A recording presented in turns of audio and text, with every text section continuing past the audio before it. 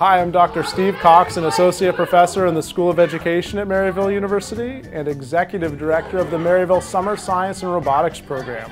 In the Science and Robotics program, we offer dozens of classes in all areas of science, technology, engineering, art, and math. This year we offered classes in stop motion animation and advanced stop motion animation. We have classes taught by an architecture professor uh, where kids are learning the fundamentals of architecture and building.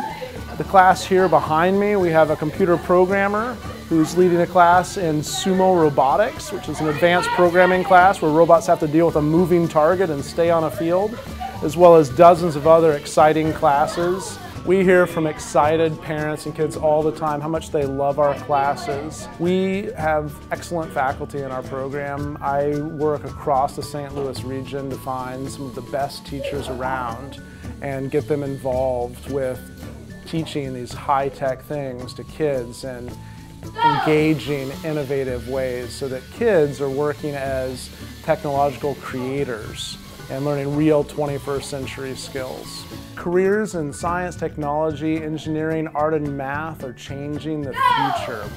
And it's vitally important that we get kids interested in this as young as possible. We serve kids from ages 4 to 15 with high-end STEM and STEAM programming with highly qualified faculty to help prepare them for the challenges of the 21st century. For more information, visit maryville.edu slash robot.